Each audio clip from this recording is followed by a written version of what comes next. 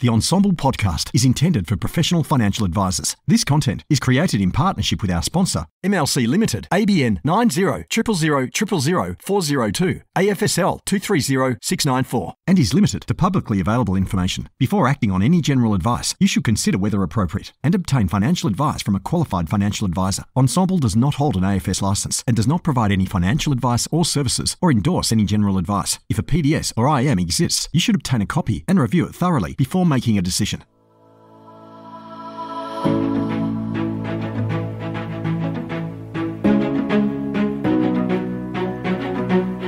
Hi, I'm Ryan Watson, CEO of Tribeca Financial, Australia's leading financial wellbeing advice firm. You're listening to a podcast series dedicated to exploring and understanding all things wellbeing through a financial advice lens. This is a special four-part mini-series from the Ensombl podcast. Over four episodes, we will talk with practitioners and wellbeing experts to understand financial wellbeing, what are its foundations, how can it be used in a personal sense, as well as taught as a practice to clients. Vivo is the award winning health, wellness, and recovery service from MLC Life Insurance. It supports people at every stage of life's journey, in sickness and in health. Vivo is available at no additional cost to MLC Life Insurance customers.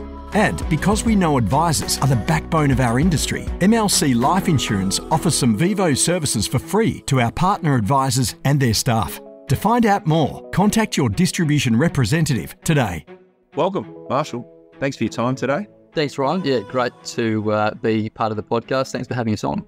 Yeah, and and from your point of view, and you know MLC Insurance as well. Thank you for sponsoring the series. This is the fourth episode where we'll look more specifically to advisors and how they stay at the top of their game. So obviously, my role at Tribeca, you know, I suppose I sit on one side of the fence for want of a better term.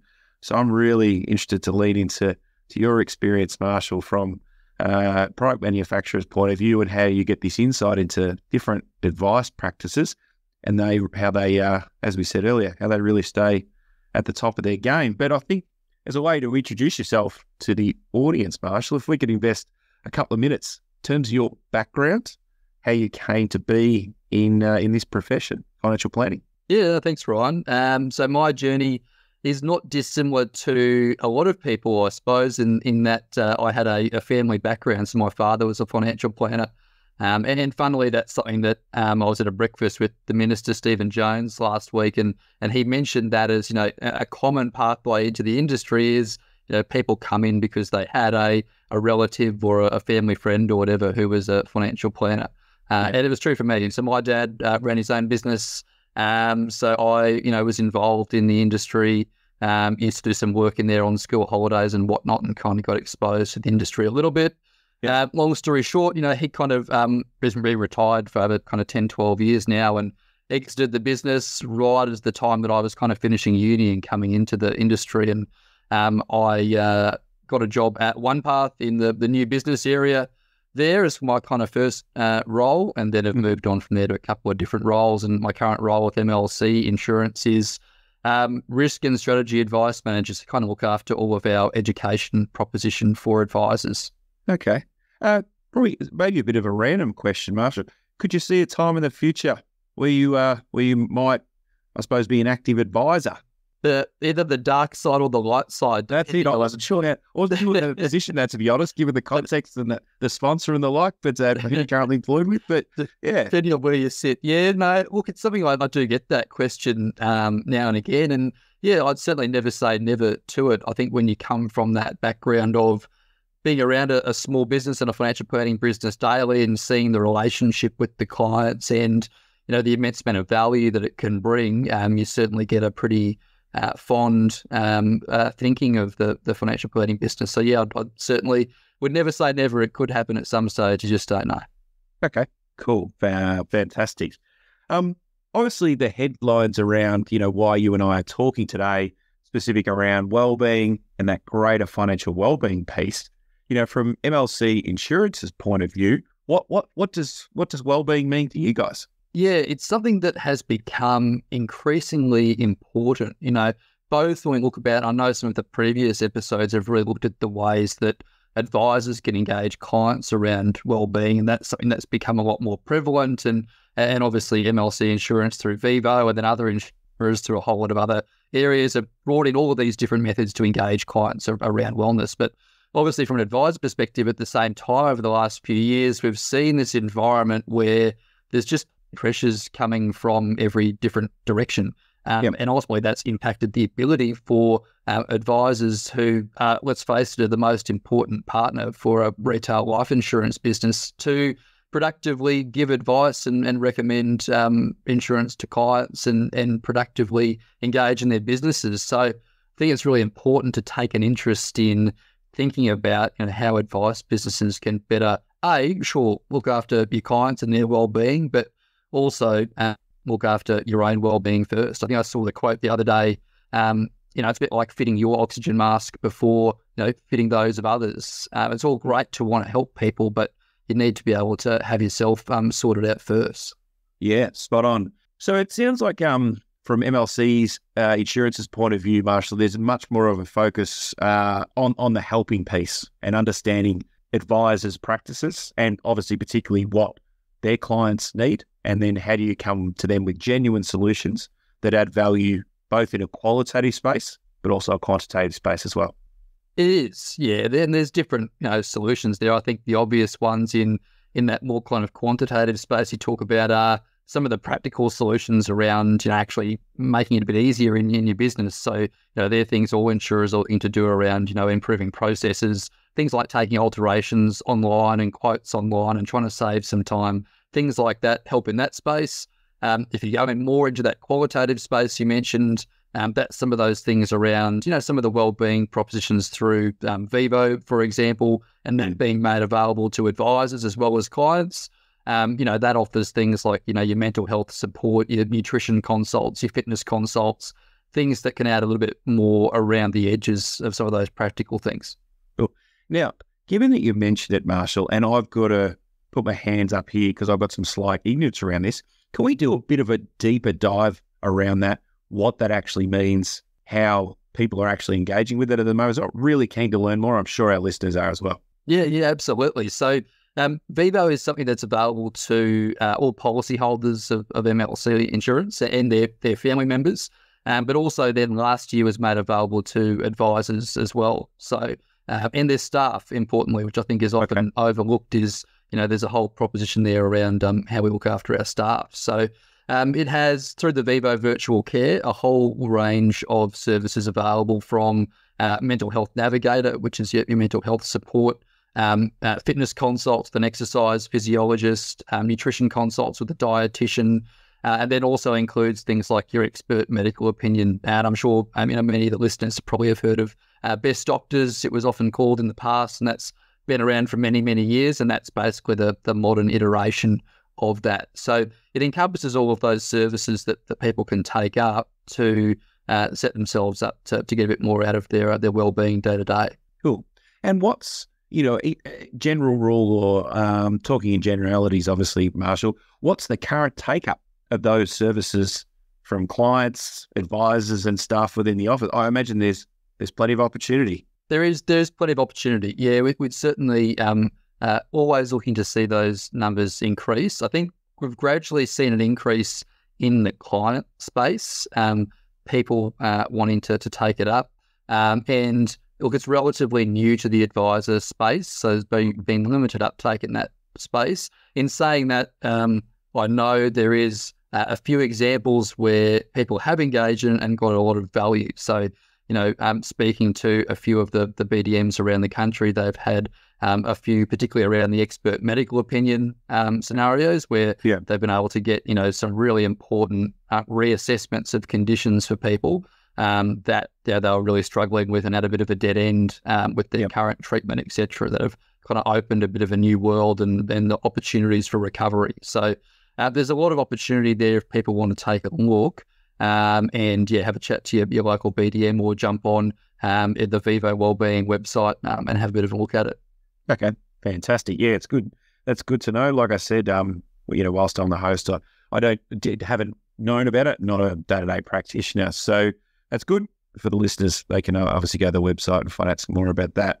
Um, key part of today as well, Marshall, what we wanted to explore is what you're seeing in advice practices. You know, if we start with the importance of advisors and then looking after their own mental health when they're working with their clients, um, what, what are you seeing in that space in terms of from advisors? Yeah, I think we're, we're starting to see a, a more, um, I guess, a little bit more of a reflective attitude, I think, from advisors around it to kind of acknowledge that we've been through a, a really challenging period, but also acknowledge to say that, well, you know, if I'm not perhaps, you know, operating at my best in this space, it's pretty hard for me to do really well for my clients. And if that's my ultimate end goal and I want to get great outcomes for my clients, I need to have myself kind of in this frame of mind to be, you know, happy going to work, um, productive uh, in in in my workplace and in my business, um, and productive with um, my staff and my team to make sure that you know everyone's um, happy moving forward. So I think we're a bit of an interesting place with um, financial advice businesses where we're seeing a bit more of a focus on that um, than we've seen in the last probably five to 10 years. Mm. I was reading some stats the other day as well through, uh, through a leadership coach who's got a lot to do with financial advice in Australia. And I think in terms of that mental health space and people being affected, I, I, I won't do it justice because I can't remember the specific uh, number, but it was a significant portion of the financial advisor population that has been affected to some degree around mental health and the challenges over the last five to seven years. I was really surprised, Marshall. Yeah, it'd be impossible not to. I mean, there's obviously various degrees on that spectrum, you know, from more acute symptoms to, um, you know, things that are, you know, um, less noticeable, perhaps, you know, things that can creep up to you, like in more of your day to day stress. Uh, and that feeling of busyness or, or anxiety around work, etc., just because the load is getting large. So there's obviously a spectrum that it's on, um, and it's a matter of I think at a starting point, just sitting back and, and having it think about what that actually looks like yourself, and then you know thinking about okay, well, what can I actually do about it to to perhaps try and you know make it ultimately we want to make it a bit more fun uh, if we can, and, and that'll help people um, feel better in their business. Yeah, and you mentioned that term around you know helping people in their business and your role, and something that binds all this collegiate piece around the financial advisory industry is that we all got in to help people or to help clients, no matter what your value proposition is, whether it's more qualitative, whether it's more quantitative, active events, whatever it is, everyone got here to put clients in a better position and help. But it's interesting. The challenge is there's been such a self focus with compliance and everything else. I'm not saying it got lost, but there's just been so much noise. It's coming back to, I know it's probably overused around purpose, but coming back to why we're genuinely here. And I love the fact, Marshall, you brought up making it fun again. There's nothing more fun around. You see a client where a light bulb moment goes off, they really buy into what you're doing and then they're empowered to go away and execute the strategy. I think fun's very underrated, Marshall. It is. It is. I think, you know, ultimately that's the driver is those kind of positive feedbacks is, yeah, seeing that moment with a client or you know, helping a client with a claim and, and seeing the impact for, for them and their family. You know, there's little moments that, yeah, they're the, the little penny drops that goes, gee, it, it is worth it.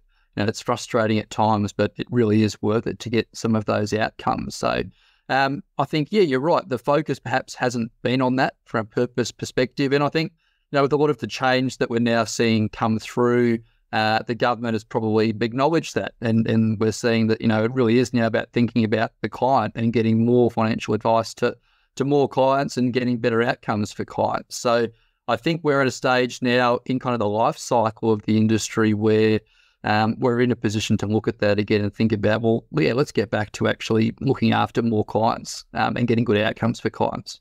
Yeah, get back to why we got here in the first place, if that makes sense. Get back to that why for sure. Yeah. Okay. Um. So we, you know, we're thinking about examples of what you're seeing in advice practices, and we understand how important a mindset is. You know, what are some what are some examples you've seen around advisors who are doing this really well, who are practicing some good self care? Yeah, I think some things that I've seen work really well, and the benefits I've had obviously in my current role is kind of um, national based around the country, but in a previous life was more local based in a, in a BDM type role. And um, some of the benefits were really around seeing people start to band together at a local level a little bit better. You know, thinking about, well, can I find five to 10 people in my local advice community that want to catch up for a coffee once a month or a breakfast yeah. once a quarter Or, you know, we had a few um, who were uh, all keen golfers and would catch up for an early morning Friday game once a month and get a, a like minded group together of advisors. Had never met each other before, but after doing that for five, six months, you know, people start to enjoy seeing that same person again. Or how did you go with that client you mentioned last month? How did you go with that? Are you hiring someone new in your business? You know, did you end up getting that sorted out? That new software you were doing, did that work out for you? You know, you build these relationships and these sounding boards, and you actually start to realize that some of the problems that you think are exclusive to you and your business are probably shared by your mate down the road who's going through the same thing um, and probably has some learnings they can share with you about it. I love the fact that you've mentioned that. So, um, because I know when I started out in advice 0506 and then I went to the AFA conference in 07, it was there that I met a number of advisors, um, Brad Fox as well. So he's a chairman here at Tribeca, obviously a partner and a shareholder as well. But the point being around the relationships that were built. And we ended up setting up a lunch on a quarterly basis and we get together and we'd share the wins and share the learnings that old school but works really well. There wasn't a problem that we couldn't solve or improve amongst us. And I think it's easy to say COVID and the like, but being far more collegiate, I know, you know, throughout my journey, there's a lot of people in the industry who've helped or extended the time I would have a coffee. That's the opportunity. I love the fact that that's part of, you know, what you're doing or what you're seeing, Marshall. It's so, so underrated. It is. And look, I think you're right. Look, COVID certainly played a part in it that we've all kind of had to re reintegrate back into the face to face world after that. But I think also that general um, busyness and, and, need for feeling for pro- productivity can can feed into it, where people think, well, oh, I just haven't got time to devote to that because I need to do X, Y, or Z. Um, but the thing is, is it is actually productive. Like taking that time to uh, network, build relationships, share some problems, get some advice. That is very, very productive time, and you'll find that know, say if you had a breakfast catch up with a few like minded advisors in the morning and you're out before nine o'clock and you're back to the office, um, you're energized to take on the day. Like you, have had some great conversations. You're actually going to jump in and be more productive than if you hauled yourself to the office an hour earlier and perhaps procrastinated for an hour or had a coffee, try wake yourself up and try and get into things. You're actually jumping straight into it with a few ideas and ready to go. So I think it's just around shifting that that perception of what productivity actually is.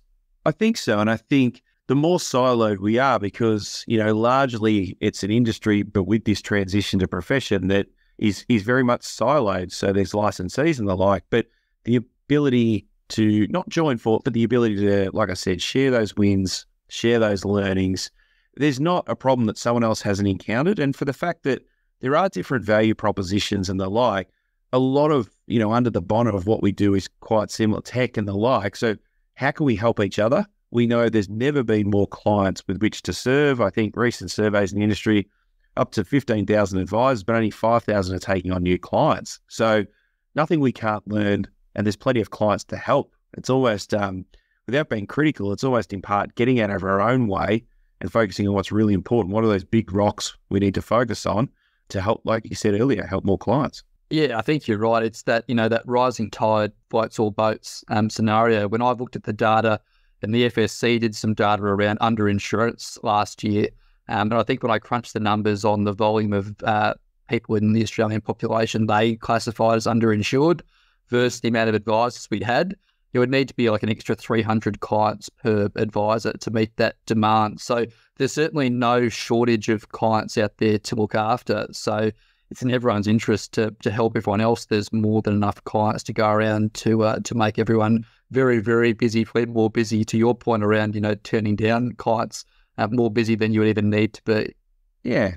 So we've talked about Marshall advisors in general. Like if I was to ask you around, you know, thinking of a few advisors who uh, are really good at what they do, you might call them high performers. What would be some key highlights around I imagine they've got really good habits. Like, what would be some key things around there or some learnings for the listeners? I think one of the big learnings in that space that I've identified over the years is really this power of delegation um, and empowering your team. So, you know, you can often feel like you need to do everything yourself. And I know I can be a little bit like this sometimes as well, as you can, you know, hang on to things and be a bit of a control freak and want to do it yourself. But the ability to identify where someone in your team and empower them to go out and, and do some of those tasks in the business then frees the advisor up to do the really productive work that needs to be done with clients and with the business. Uh, I think that comes with with client communication as well. Like empower your team in the face of your clients. You know, they should be expected to to speak to your team as well as just yourself and be comfortable doing so. So it takes that pressure off of, all my only point of contact with the business is with my advisor. Um, no, we've actually got a team of two or three people or more that I'm equally comfortable speaking to if I need to. It just takes that pressure off and frees up some of that time and then sets some proper boundaries as well. Yeah, it's it's interesting exploring that a bit further around. I think there's there's a tendency for any type of professional to just get a bit comfortable with what they're doing, and I think playing in the micro or playing too much in the detail and that day to day rhythm, it can just get too comfortable. But growing the people around you, delegating, and then challenging yourself to play in different spaces or where you can really add value. I think I think there's some bravery in that. Yeah, it, it, it's it's an interesting one why we do what we do.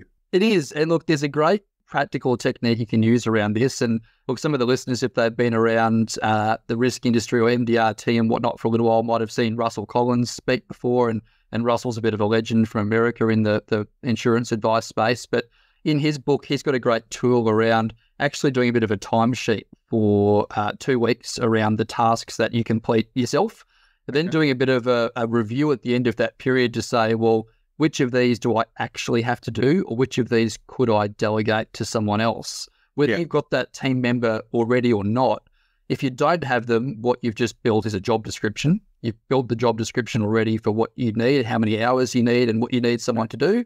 Yeah. Uh, and if you've already got the person there, you go, well, here's exactly what I want you to do. And now I know the tasks, and you've just freed up X many hours in your diary. So sometimes it can be as simple as that to actually then work out, well, then instead of perhaps doing those extra really stressful hours, I don't need to do that. I can focus on the important stuff that I need to do. Yeah. And at the risk, Marshall, putting you on the spot, um, would you have access to that sheet? Is that something where we might be able to put a link in uh, in this podcast when it goes live? I, I, I don't myself. Well, I do have a copy of the book, but I don't know yep. if it's online. It's called Skills to Succeed. Okay. Is the book by Russell Collins. It is a bit of a um in the risk advice space. It's a bit of a bible. It's a, a well known book with a lot of good tips and, and tricks in there. So if you don't have it, go out and get it. Absolutely, yeah. Have a look at it. Okay, fantastic. So moving more to the impact the, the advisors you see are having on having on their clients. How are you seeing value propositions in the advice space, you know, evolve to incorporate more of the well-being? Yeah, I think it's really evolved to be that more holistic view. I think part of it's a generational thing because I've looked at some research around this as well. When you look at um, millennials and, and, Gen Z, particularly that are coming through, and, and these people that are now starting to see financial advisors, like they've they're young professionals, they're they're in that accumulation phase. They're going, what's next? Like, what do I do now with with my money? Um, the focus for them is not actually on their overall wealth. It's on what does it actually do for me? Does it mean that I can, you know, do certain hobbies that I enjoy, achieve certain lifestyle goals that I enjoy? Like that's what the money actually does for me. So I think yeah. for a value proposition perspective, you know, the advisors who are building that into the conversations to go, well, by all means, it's great for us to do all the technical stuff that we do, and we've got heaps of knowledge in that space, so we can do it for you. But what we're actually focusing on is what that means for you and what that can actually deliver for you in a lifestyle perspective. I think that's where you really cut through to, to giving that holistic view to clients. Yeah. And you, you, you're seeing more of a move to that space. Obviously, we know what I would call doing the doing is really important. So, quantitative, so minimizing fees, strong returns, appropriate, you know, minimizing taxes. That's that's more of a given these days is there is there there's this evolution more into this financial well-being space? There is, yeah, I think it is. You're right. All of that is the the given. You know, I think we've got uh, such high levels of professionalism now and, and knowledge and education in the industry that all of that technical side is, yeah, really the expectation. Whereas adding some of that additional value is is really important to actually look at. Well, what does that actually mean for you? Um, and also, what what's important to you as a person? You know, is it actually important to you to have $10 million or are you happy with having $1 million and, and working part time? You know, it, it, could be different things to different people. It's not all the same. Um, so whether it's, you know, investment or superannuation advice or, or risk advice, people's individual attitudes and values and beliefs are going to feed into it more than ever. So that's the stuff that's really important to focus on.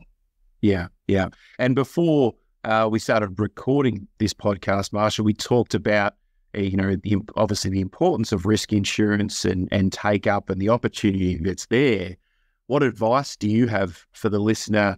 Obviously, it, it is a challenge. There are challenges in terms of doing risk insurance advice these days. Um, you know, let's let's deep dive a bit. Let's deep dive into this. Where does an advisor start at, with it sitting in their advice process and building a really robust structure around it? Yeah, I'm glad you mentioned the word structure because I think that's important because I think the way the the the uh, industry has changed so much is we did have kind of this divide, I suppose, in the past where we had advisors who were more risk specialists um, and advisors who were more, say, investment specialists. And those two would perhaps see each other at a PD day once a year and, and exchange pleasantries, and that's about it. Whereas now we've seen much more of a shift uh, across the market for most advisors are giving holistic advice. You know, when I looked at the data, I think the advisor ratings data uh, most recently, there was only a very small segment of specialist risk advisors, but 90% still gave some level of risk advice. So from infrequently to frequently, they were giving some level of risk advice. So the challenge with that is if you're not doing something very often, you don't tend to get very good at it. So to make it effective, you have to build a bit of a process. So you've got to build the process of how you are going to do it when it comes up, and then also have a think about how it fits into that overall financial planning conversation. Because I think it's not a separate conversation. You know, if you're having a financial planning conversation with a client, you're already talking about various risks that they're exposed to, whether it's risks in their investment strategy, risks with their longevity, risks with inflation. There's all kinds of risks associated with their plan. Um, the risks to their health are just another extension of that that can be tackled in that same conversation. Yeah. And I think the, my, my sense is the current challenges we've got this space and referencing that same advisor ratings report, 150 risk specialists in Australia. I think when push comes to shove, advisors are probably not delving enough as a rule into this space as much as they used to because it got difficult. So, you know, working with people in the profession, product manufacturing, you know, people like yourself who can help. I imagine that's part of the way that you can help Marsh MLC Insurance and the wider uh, BDM network as well helping build a structure and a framework around that as well. It is. And I think it's incumbent, I think, on all participants um, in the industry to do better in that space. I think I wouldn't be um, breaking any news at all to say that we probably haven't seen as much innovation as we'd like in general in the, yeah. the, the insurance space. And that's for a good reason. That's because at the same time as the advisors have been grappling with all of the regulatory um, changes been coming through, there's been layer after layer of uh, corporate regulatory change for insurers. You have to think about things like uh, DDO, for example, and unfair contract terms and IDII changes. Um, you've just got resources getting pulled away from innovation to managing a lot of this regulatory change. So I think we're starting to see um, some change in that space now with some more innovation. I think across the board, we're seeing more digital uptake. Things like digital signatures are pretty widely accepted. Uh, yeah. Things like quotes and alterations online are starting to become more common. I know that's something that MLC Life's recently um, jumped into, and I think others are looking at as well. So mm. we're starting to see some things there that will help save some time for advisors, but there, there's a lot of work to do. Yeah. Um, and, and then in the education space, yeah, it's around us providing you know that educational content that can actually help advisors um, give advice well and, and give it efficiently. So we've certainly focused on that in a lot of the work we've been doing over the last, you know, six to six to eight months. Yeah, and I think, and yeah, and that, that's fantastic. And I think there's also there is significant elements whereby anytime someone like MLC Insurance can remove friction from the process, which is great. I think there's also that education piece, but there's also a little bit, you know, a bit of, you know, the obstacle is the way. You know, it, it's worth the time, it's worth the work, because as we talked about earlier pre-podcast, that it's the outcomes for clients. Oh, a massive one on this. It's the promise kept. Um, you know, we talked about statistics and, you know, claims, whether it's eight out of 10, nine out of 10 on average get paid. I think that's the reinforcement. I'm, I'm pretty passionate about that, that promise kept. It's it's huge. That's the, the proof in the pudding. And that's why sometimes it can take a little while, I think, for if you're perhaps a new advisor to, to give you risk advice or you haven't, you know, perhaps got a large risk client book and you haven't had a lot of claims experience, you maybe haven't seen that practical example or those outcomes firsthand. Uh, but when you do, it, it makes a huge difference. It's a pretty overwhelming experience to see what it can do for, for people and the opportunities it can give them. Um, and the biggest way I would term it is it's no different to anything else financial in life is that um, money gives you choice, um, you know, and it gives you flexibility. And it's the same when it comes to ill health. You know, that um, money from insurance just gives you choice and flexibility to, to deal with that however you'd like and make sure you've got choice as to how you deal with it. That's a pretty powerful thing to, to give to someone beyond just the dollar figure attached to it. Yeah. And I, I think, particularly for those younger advisors who are listening to this and maybe they haven't gone through a lot of that claims experience with clients, reach out to your trusted BDMs, obviously MLC Insurance in particular, and um, get some of those stats. You know, within reason, we all like a bit of data, right? And there's PDSs and the like, but the power of claims, where they're coming from, and even stories. I'm sure most insurers have stories, claims experience stories where it's really helped. I know here at Tribeca Financial and where we've we've had advisors over the journey, it is at claim time where that real penny drops. We'll do the work and we'll set up that risk plan as part of, you know, our legacy or our contingency strategy. But unfortunately, when people become terminally ill and thing, you know, significant health events, when the claim is receipted, you just you see your work at work, if that makes mm-hmm. sense. Yeah, you do. You absolutely do. So those little testimonials um, and the data is is gold. I think, yeah, absolutely. I think all the insurers have got, you know, nice um, uh, customer facing flyers that you can use with some of that those statistics on them. I know I think um, MLC Life just released uh, ours in the last week or so. So if you have a chat to your BDM, they've got an updated version now of, of last year's claim stats. So yep, your BDMs will be able to get that for you. There's also the APRA data. So APRA publishes claims data every year, which highlights um, and they split it out into advised cover, so you can get specific data around claims acceptance rates, uh, and you're right, they're very, very high. I think in most of the segments, they're above 90%, um, with, with death and trauma being the highest, above 95%. So it really does reinforce to, to clients that know, the narrative of, oh, well, the you know insurers don't pay claims, this is a waste of money paying premiums, that narrative probably is a little bit misguided. So you can actually provide some data to them that, that supports that. Yeah, no, no, make, makes perfect sense, Marshall.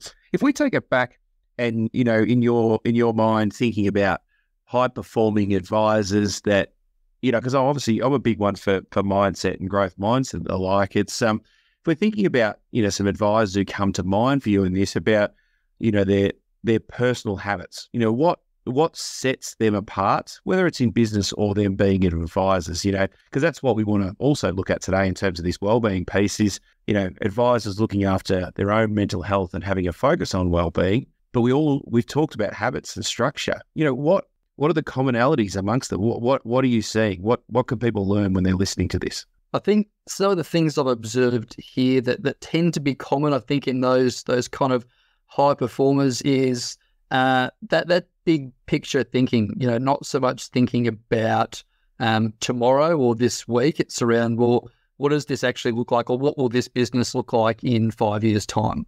Mm-hmm. Uh, what what do I want it to look like in five years' time, and then what does that mean for me today? Um, and what does it look like as, as well in the community? Like, what does my business touch outside of just my day to day clients?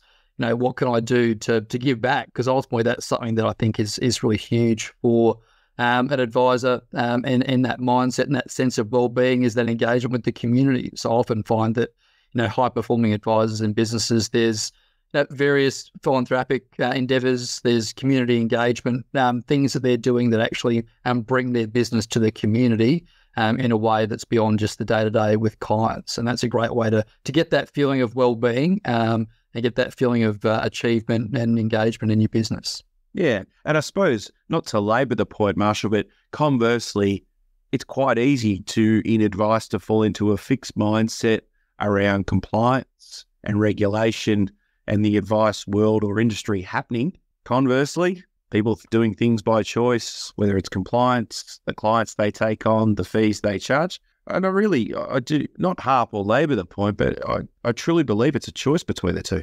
Yeah, it is. And look, I, I think it's very easy to do that. I mean, I don't think you'd blame anyone for perhaps getting into that mindset because it does feel like some days that you know every every week was a new press release with something new, new form of regulation or something negative or whatever. And, o- and so over such an extended period as well, 8, 10, 12 years. For many years. So so it's easy for that to happen. But you're right. I think the difference is putting that to the side and and those who do well say, well, that's happening regardless. You know, not, not a lot I can do about it. All I can control is the way I run my business within those parameters. And I think an example for that is, um, you know, I think I've seen the uh, formerly FPA, now the FAAA, had been doing a lot of work around workshops on video SOAs. You know, that's a great example of, you know, but still only 3% of SOAs are delivered via video. And yeah. despite the, you know, the, the, association promoting compliant ways to, to give that method of advice. So that's some examples of ways to think differently and go, okay, well, even within the current framework, put QAR to the side or things that may happen to the side. What can I do practically today to, to change things? And and changing the mindset from I think you know that is an indictment at three percent, right? So there's ninety up to ninety seven percent that are operating potentially around compliance from a state of fear or control. Changing that to abundance and the rules are what they are within reason. How do we gamify that to focus on client experience and get client? They are what they are. We can't change it within reason how am I going to make the best of them as opposed to them just happening to us as practitioners? Yeah, I think so. I think once you do that, it becomes a bit of a freeing mindset to say, well, I've actually just freed myself up from worrying about this now because I've acknowledged I can't control it. And then once you kind of let go of that, um, you start to move into a space of, okay, well, what can I actually do? You know, uh, and it becomes a bit exciting to actually think about, okay, well, is there some things I can change or do a little bit differently that might save me some time or give a better experience to my clients? um, with my processes. And even something that I'm happy to volunteer what we've done at Tribeca Financial around this, Marshall, is we've changed the term compliance to PPR, professional principles and responsibilities. The reason being, it's designed to change the mindset around it. It's a professional principle, it's a responsibility that we're taking on. Nothing's happening to us. It doesn't change the law, you know, or the, the compliance regime, right? But it is it is a choice. So and we want to come from a place of learning and, like I said, abundance and engagement as opposed to potentially up to the 97% where it is fear driven and worry mistakes. Because invariably, I know personally in my life, anytime I'm worried about making a mistake, it probably heightens the chance of as opposed to do we embrace. And things like compliance, once there's understanding and true learning, not to pass an exam, but true learning around it, it, it it's liberating. It, it's actually quite a free structure when you truly understand. Yeah, that's a great example. You know, um, the the c word can certainly elicit some negative connotations for for people. Um, so yeah, why not change it? Yeah, to to a different terminology in your business. Think about it a little bit differently. Um, it's not saying it's awesome. I think it's it's very clear to say we're not saying that all of these things are great things and that you should be excited about them, but it's just that acknowledgement of well, I, I can't necessarily control it. What are the things I can control to to practically improve things. Spot on. And then that changes what we call this flashlight from things that we can't control to things that we can, like growing our tribe, like growing the people that we work with. We talked about delegating earlier. Um, the clients we bring on. So who we say yes to, who we say no to, how we charge, the value we provide, the value proposition, obviously, that comes off the back of that. They're all things that are directly within our power. Just depends what we choose to focus on. Yeah, I actually really like that you brought up there around who you say yes to and the clients you bring on, because I think that is a big shift for a lot of businesses.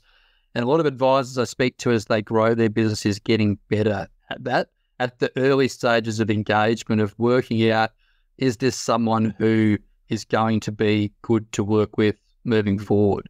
Yep. Um, and it could be different rules you have. Like I've spoken to different advisors who will have rules around like their initial questionnaire or fact find they send out to the client. They have an expectation that the client will have that complete by the meeting date. if the client hasn't yep. done it once, look, there's a friendly reminder to say, hey, look, just notice you haven't done it. Let's push the meeting back a bit. Would this be more suitable for you? If they still haven't done it, then it's a conversation of, well, maybe this just isn't quite the thing for you right now, and that's okay. But you know, um, it maybe just isn't the right point in your life to to get involved in this. Um, and that way, you're getting clients who you know you're not going to be chasing them for things. They're not going to be the ones calling you 16 times a day outside work hours, chasing you on things. Um, and they're not going to be creating that stress for you um, in your business. So I think that's a really key point is having to think about what that looks like. That's exactly right. You know, we talked earlier today around, you know, what binds us in financial planning is around the fact that we're all here to help, right? But I think sometimes that can drive us to be misled where we can chase a client or a prospect and depending where we are in our professional journey, flipping that on its head, like you talked about, and understanding how many first appointments do you actually have in a year or a quarter? How many clients are you willing to take on? Um, and creating within reason a sense of scarcity and urgency with clients. We are a profession moving away from an industry. It just changes the mindset around that. So if you're looking to engage two, three, four clients in a call, whatever you say, it's two. You've probably only got two, uh, sorry, four or five discovery appointments you want to take. Start of a quarter, you got a few people who, oh, I don't know if I will, or I've only got three spots left. I can hold it open for you till Friday or whatever it is to book that in. Interesting, just changing this language and changing the mindset around it. That scarcity, scarcity and urgency can raise the urgency or the importance in a client's eyes. They've all got a priority list of things in their life. We just want to get top and uh, closer to the top so we can take that stress, add that security and freedom of choice to them as well. So it's a really interesting point you make. Yeah, and I think by making that clear to, to people early, you get them to put value on your time. You know, it can be the thing that if you illustrate that early and say, for example, do say, look, I noticed you haven't, you know, completed the initial fact find. Let's just push the meeting back. Um, is it something that's you know still important to you? They'll often be apologetic and say, "Oh no, no, I'm sorry. I meant to do it. Mm. Really sorry. I'll make sure I do it um, and jump on and do that for you. I, I do want to make sure I do this." Um, and then when you do ask for additional information on whatnot down the track, they're aware that um, the time is valuable um, and that it's important to engage. So I think yeah, setting those expectations is is really important to to having that sense of well being and, and enjoyment in your business. Yeah, because otherwise, sometimes it could become a relationship where the advisor or the business is chasing the clients, as opposed to something like a 15 minute phone call. If they look like an ideal client, booking in the discovery, but normalizing with them that all people get that the completed client profile back within 48 hours. Most people want to be like most people. It's just the conscious language around yeah. that that can really create effectiveness in a business. I'm not saying technology and compliance, all that's, but some of the things that just change the behavior at an advisor or practice level that can really help. Yep, yeah, and, and you're right. That language is important. You know, it can be things like, oh, you know, we find that our most successful clients do this, or our clients who get really good outcomes, yeah, they get this. You know, they generally have this completed about 48 hours, and that enables them to get into their advice quicker and, and get on the path quicker. So those little, you're right, people want to keep up with the Joneses. And uh, if you of set those little little sneaky expectations as you go, um, you can go a long way to, to getting you know more productive relationships. Absolutely. That's about all I had to cover today, Marshall. Is there anything else that you want to highlight in this conversation or you'd like to discuss? Uh, no, thanks, thanks, Ryan. Great, um, great to be on the, the podcast. Thanks for having us on, and, and really enjoyed um, the discussion. So, yeah, if anyone off the back of today wants to perhaps explore some of those resources I mentioned, they can jump on the the Vivo Wellbeing uh, website um, and have a look at it, or yeah, have a chat to their their local BDM around what may be able to help them in the wellbeing space. Fantastic. Thanks again, Marshall. Thanks, Ron.